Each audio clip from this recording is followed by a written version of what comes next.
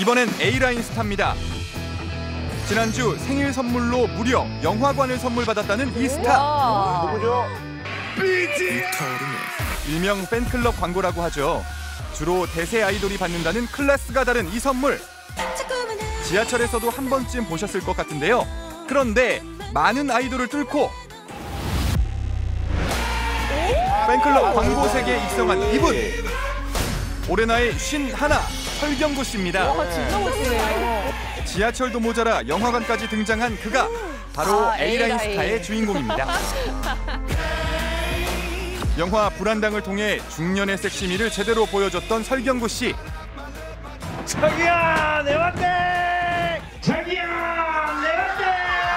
데뷔 25년 만에 제2의 전성기를 맞이했는데요. 이 인기의 비결 외모다 연기력이다 외모다 한밤에서 설경구 씨가 선물 받은 영화관 설경구관에 직접 찾아가 봤습니다. 와. 그곳에는 역시나 그의 팬들이 자리하고 있었는데요. 너무 잘생겼어. 그렇죠. 오 장난 아니야. 너무 잘생겼어. 계속 감탄하고 있는 거예요. 팬들이. 설경구 씨의 인기가 정말 아이돌 못지 않았습니다.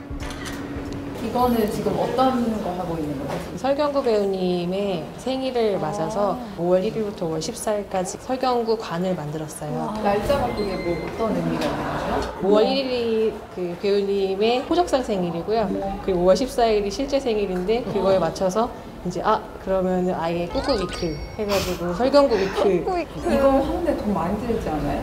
네 꽤 많이 들어서 한 600만 원 정도 들었어요. 오늘 여기 보니까 어때요? 되게 뿌듯해요.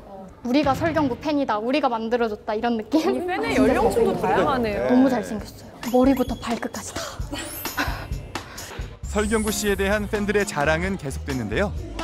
저렇게 깜찍한 깜찍한 표정을 짓고 뭐, 어떤 게 깜찍한 거예요? 아, 깜찍한. 설경구 예. 씨를 향한 팬들의 사랑은 영화관 구석구석 묻어 있었습니다.